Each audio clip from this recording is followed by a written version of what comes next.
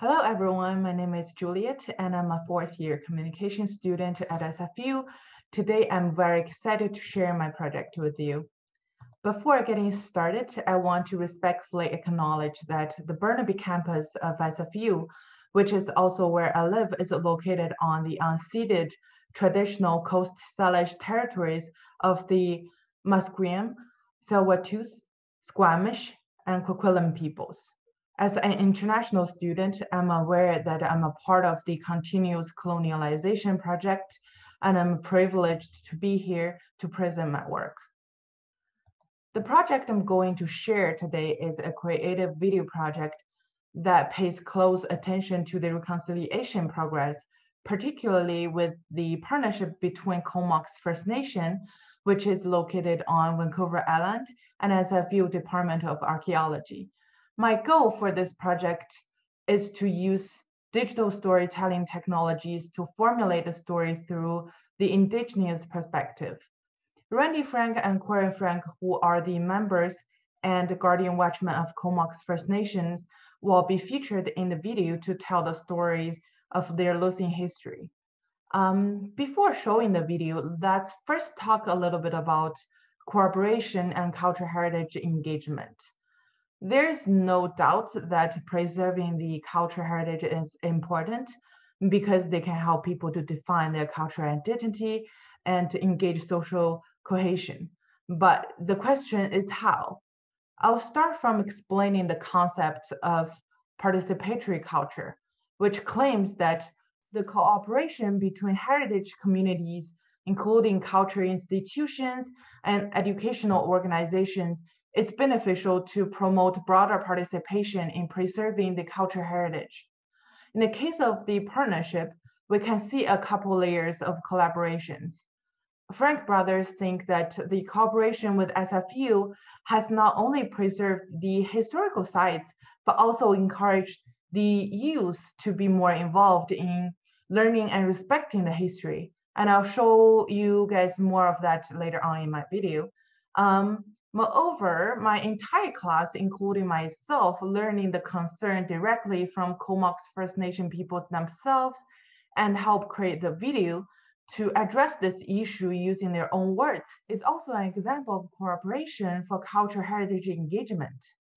So that comes another important thing that I've learned through this process, which was the importance of digital storytelling to engage indigenous first person narratives towards reconciliation. Um, I think most of us will agree that stories are powerful. The narratives of history, like what happened in the past, as well as what's happening now to Indigenous peoples in Canada, are still heavily dominated by the European settler perspective. So normalizing Indigenous first person narrative is vital to the reconciliation process. So I wish to use digital storytelling technologies to promote Comox First Nation people's voices and alter the public perception of this issue that has been hugely influenced by the dominant settlers' ideology. I'm aware that reframing the narrative is not enough to change the power dynamic, but hopefully it could increase public engagement and promote social change, which is also the goal of my project, as I mentioned before. Um, okay, I'll stop talking right here and start sharing my project. I manage the Guardian Watchman Department for the Comox First Nation, which is a very rewarding job. Growing up, we were pretty fortunate to be where we were. The past is important, and all these sites have different stories to tell us. We just have to ask the story in the right way, and then we can, we can learn.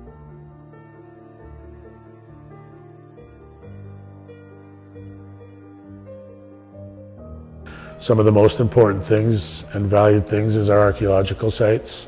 Things that you want saved for future generations, um, logging and, and wood and fiber for future carvers as well, because there's so much and it gets so developed here that we're losing a lot of these things.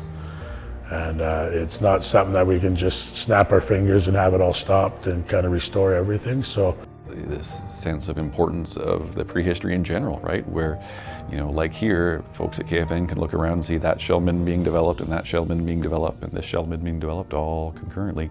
Um, and we know we're losing that history. Each of these sites are different and they've got this unique history to tell of who knows what's going on there, right?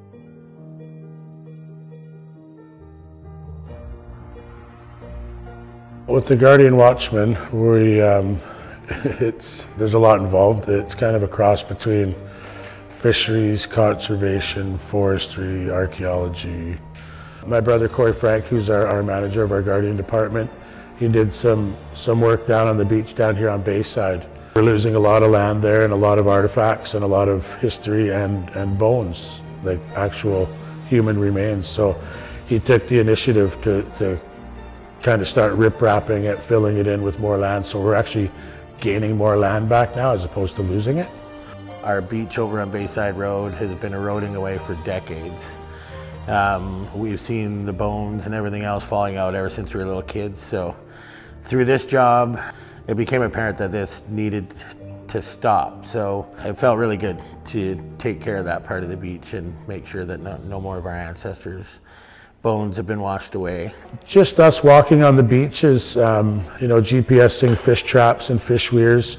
We found uh, spearheads down here. We found skull caps from human remains, all kinds of lithics. And that's all just down on the beach right here, small arrowheads or broken parts of arrowheads. Right now with the Guardian group is we're doing a little bit of archaeology work, but we're, a lot of it now is based in Sayward because it's such a, um, a massive site and it's so rich with knowledge and, and information that it's been capped off. So it's basically clear on the top and then it goes right down to the glacial till. So everything's there basically what you need to know and the people that were there and herringbone, salmon bone, everything. I think it's important, you know, tangible link to the past a source of pride about um, the complexity of their culture and the artistry that went into it, and no doubt the cultural meanings behind whatever was going on there. I think it's a, a, sense of pride that it's you know it's on their reserve as well too, so they have total control over that process. No one else is coming in and doing it without their complete consent. Um, they own those pebbles, so they're going back to them, and they're very happy to have them back. Um, I think it's a, a, big source of pride um, and identification with their ancestors.